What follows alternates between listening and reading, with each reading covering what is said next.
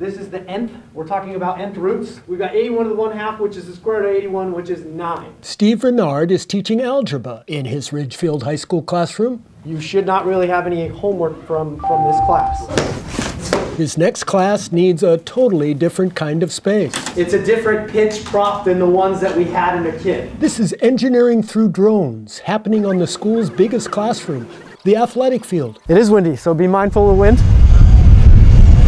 Have your kid come back for it. They're just coming over and I don't want the drone to fly over you. Right, remember if you want, you don't have to go up really hot because of the wind. That is the wind at the moment. The students learn about the tools and conditions and gain an important awareness of those around them. As soon as the weather was nicer, we started coming out and learning to fly. Improving flight skills is one part of the course, there's more. I wanted to have students build a drone, learn to fly a drone, and, and eventually learn to program a drone. This is the battery, uh, the antenna.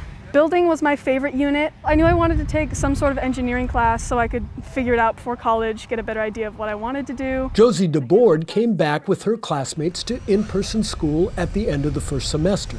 That's when drone class took off. For this one right here, tells you what kind of position you're in. So there's position hold, which kind of levels it out. And then there's acro mode, which is like free mode, so you can move it however way you want it. Telemetry lost.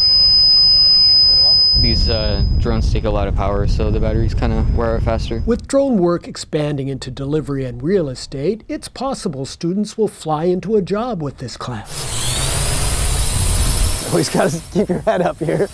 But not before mastering some tough lessons. Their drone went over that way and crashed somewhere, and they're going to recover it. He was flying it, the battery just died midair. The joys of drones stuck in blackberry bushes. Another valuable lesson as these future pilots engineer through drones. You gotta find a way to get your drone out of places if when, it, when you have issues.